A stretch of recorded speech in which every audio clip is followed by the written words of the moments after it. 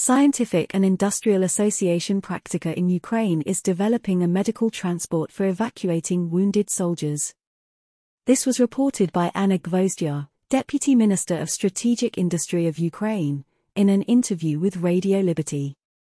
A new medical transport for evacuating the wounded from the frontline zone is being developed on the basis of the already existing Kozak 7 armored car by the private company Praktika.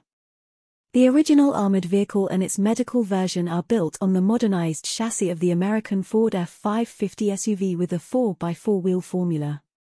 The Kozak armored car has ballistic protection that meets the PZSA 5 standard, analogous to the NATO Stanag 4569 LVL2 standard, which provides protection against 7.62 by 51 mm bullets in all directions.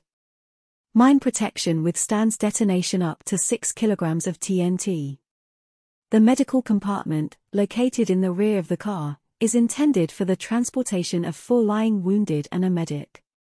The exit from the compartment is equipped with two doors and is intended for convenient placement of the wounded. The deputy reported that the new vehicle is currently being tested to identify deficiencies and adapt it to the real needs of the military.